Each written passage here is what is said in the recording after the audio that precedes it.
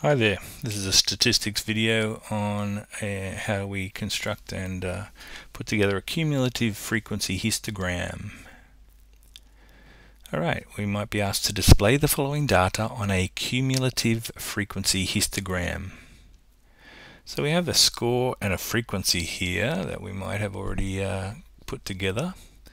Now if we ask for cumulative frequency, to accumulate something is to add it uh, together until it builds up uh, into a larger total. So cumulative frequency histogram, we need another column here that adds up the frequency column uh, gradually, progressively. So uh, I'll show you how we do that. We have a cumulative frequency column, and that's what we're going to be graphing. It adds up the frequency column as we go. Now the first item in our cumulative frequency uh, column is uh, agreeing with the first item, the first frequency of the first score. Because what we're saying is so far, if we take into account the frequency of the first score, we've got a total of 3, which is fair enough.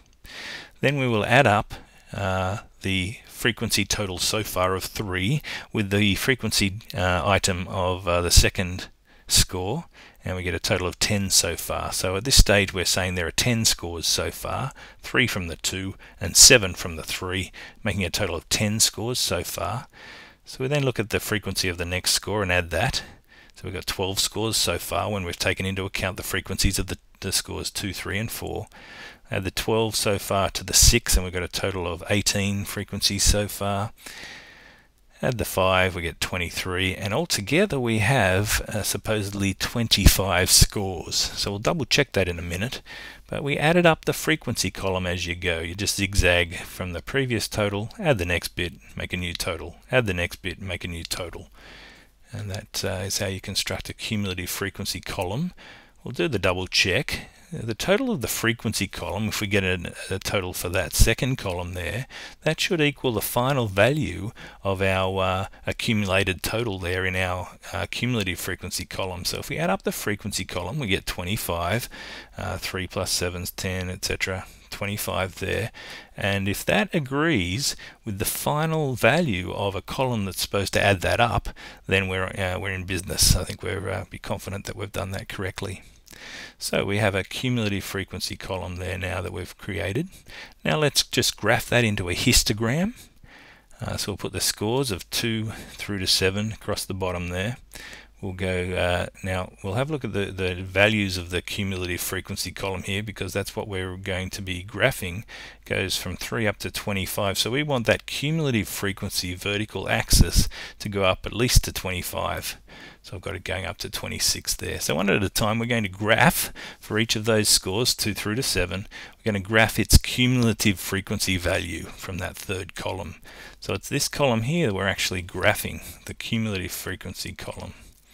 So the score of 2 has a cumulative frequency of 3. The score of 3 has a cumulative frequency value of 10. The score of 4 has a cumulative value of 12. We'll graph the 18 as a cumulative frequency total for the score of 5. The score of 6, when we add that to the total, we've got 23 so far and 25 altogether. Now you'll notice there that the values uh, always go up.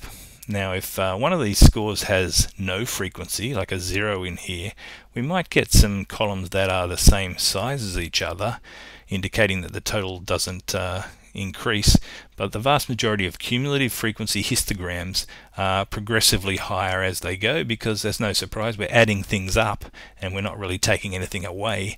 So that's how you can tell sometimes, or most of the time, that it is a cumulative frequency histogram because it, it always goes up, or it tends to anyway. So that's a cumulative frequency histogram. And there you have it. Uh, I hope that helps. That's how we create a cumulative frequency column on the edge of our previous frequency distribution table, and then we just graph that column we created. Thanks for listening. Catch you next time.